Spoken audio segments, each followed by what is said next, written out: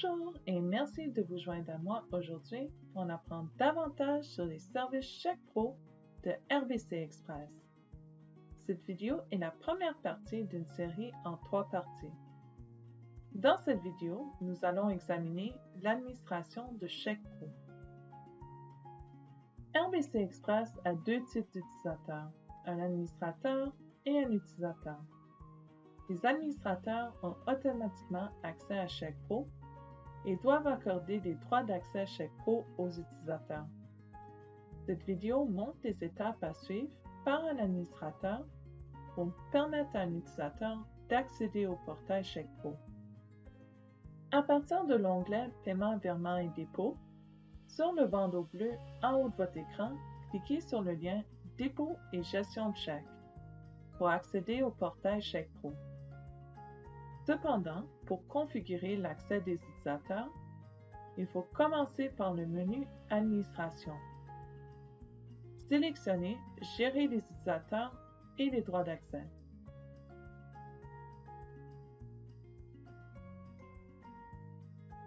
Pour ajouter un nouvel utilisateur, cliquez sur le bouton bleu en haut de cette page. Pour donner l'accès à un utilisateur existant, commencez par cliquer sur leur nom Sélectionnez l'onglet Droits d'accès.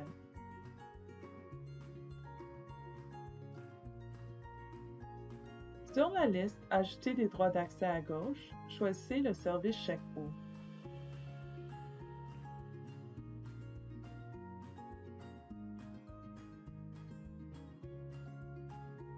Cochez la case et sélectionnez Enregistrer.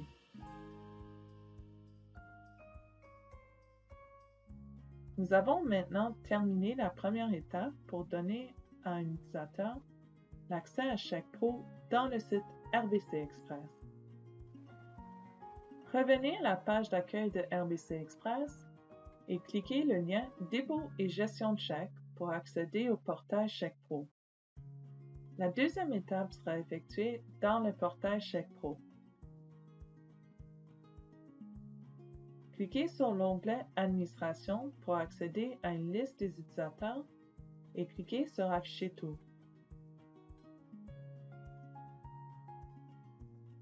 Ensuite, sélectionnez le nom de l'utilisateur. On vous présentera quatre cases. Nous vous recommandons de commencer à gauche en choisissant Modifier les rôles et les limites il est nécessaire d'attribuer un rôle pour que l'utilisateur puisse accéder au portail Chèque Pro. Si vous souhaitez que l'utilisateur puisse analyser et déposer les chèques indépendamment, attribuez-lui le rôle déposant, aucune approbation requise. Nous vous recommandons également le rôle visualiseur de rapport. Pour plus d'informations sur les différents types de rôles, consultez Aide, le guide pratique Chèque Pro en haut à droite de votre écran. Cette fonctionnalité à droite est facultative. Vous pouvez l'utiliser pour limiter le nombre de chèques par dépôt ou le montant total du dépôt. Lorsque vous êtes satisfait des paramètres, sélectionnez Enregistrer.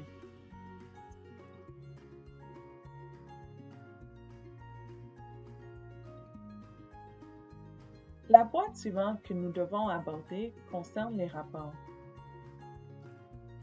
Détail du dépôt constitue le rapport le plus important. Pour plus d'informations sur les autres rapports, consultez le guide d'aide. Ce que nous avons fait jusqu'à présent permettra à un utilisateur d'avoir accès à Chèque Pro pour effectuer des dépôts. Les deux dernières cases de cette page sont facultatives mais elle peut vous aider à personnaliser l'utilisation de Chèque Pro. La zone Compte exclu vous permet de restreindre des comptes pour lesquels l'utilisateur peut effectuer des dépôts. Le second est le site assigné où vous pouvez contrôler les sites auxquels l'utilisateur peut accéder. Les sites assignés sont une fonctionnalité facultative qui peut être utilisé pour créer des pseudonymes de comptes ou pour recouper des comptes. Lorsque les utilisateurs créent des dépôts dans Chèque Pro, en utilisant la page affichée ici, une liste déroulante des comptes disponibles leur sera présentée. Vous remarquerez que les comptes sont répertoriés par numéro et non par nom. Si les administrateurs créent des sites assignés, les utilisateurs sélectionneront d'abord le site et le numéro de compte déroulant sera automatiquement affiché. Site assigné se trouve à gauche du menu d'administration. Si vous utilisez chaque pro pour la première fois, il n'y aura qu'un site appelé Location 001. Location 001 est utilisé pour inscrire vos comptes sur la plateforme il est important que ce site ne soit ni modifié ni supprimé. Utilisez Créer un nouveau site en bas à droite.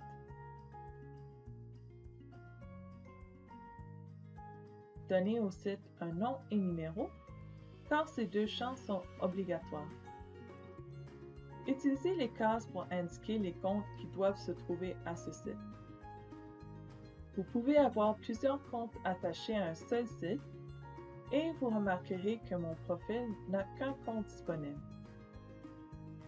Si vous créez des sites, n'oubliez pas qu'ils doivent être attribués aux utilisateurs individuellement.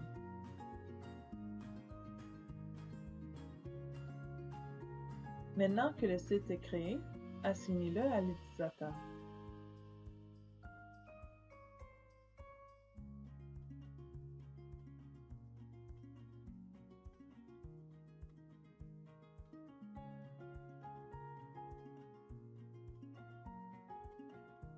Tout comme donner accès au rôle et les limites, utilisez les flèches pour contrôler les sites auxquels cet utilisateur a besoin d'accéder et sélectionner Enregistrer.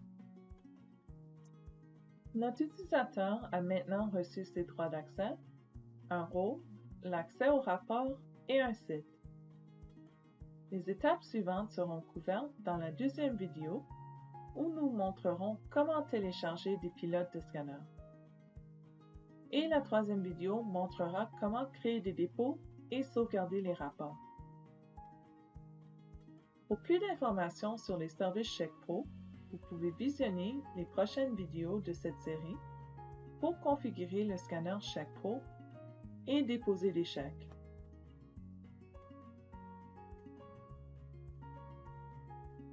Si vous avez des questions sur les fonctionnalités présentées dans cette vidéo, vous pouvez consulter le document dans le centre de formation digitale ou veuillez communiquer avec le centre de soutien clientèle pour parler à un représentant.